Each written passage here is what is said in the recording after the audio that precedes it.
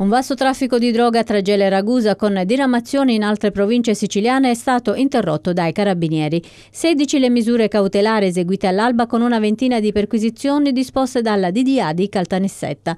Colpita un'associazione per delinquere dedita allo spaccio di cocaina, hashish e marijuana. Impiegati oltre 90 carabinieri nelle province di Caltanissetta, Milano, Treviso, Siracusa, Agrigento e Ragusa.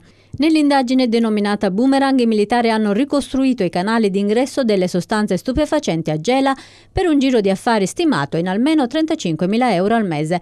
Nelle stesse ore la polizia eseguiva l'operazione Reziarius, con cui è stata azzerata una fiorente attività di spaccio di droga in provincia di Enna, coinvolti anche minori, eseguite decine di misure cautelari ed effettuate altrettante perquisizioni a carico degli indagati accertata l'attività di una rete ben ramificata che tra la fine del 2016 e il primo semestre del 2017 operava per l'acquisto, il trasporto, la detenzione e la commercializzazione di ingenti quantitativi di marijuana, hashish e cocaina. L'indagine si è protratta per circa nove mesi, periodo in cui sono stati effettuati numerosi arresti per tentare di smantellare i vari gruppi di spacciatori e interrompere i canali di approvvigionamento della droga.